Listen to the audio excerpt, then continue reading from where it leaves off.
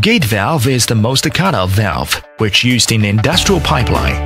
Product according to API 600, API 602, GBT 12234. Suitable for class 150 to class 2500, all kinds of industrial piping. Gate valves has the following advantages. 1 big flow area, small fluid resistance. 2. Simple construction, easy operation, 3. Seat seal ring is replaceable welding or the threaded seat. 4. Seal surface can surfacing 13 chrome.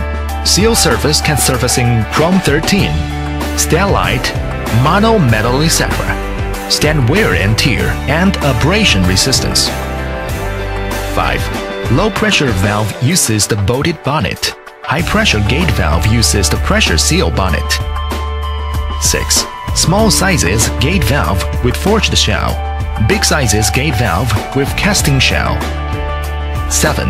Operation of gate valve include electric, pneumatic, hydraulic, spur gear and a bevel gearbox, hand wheel,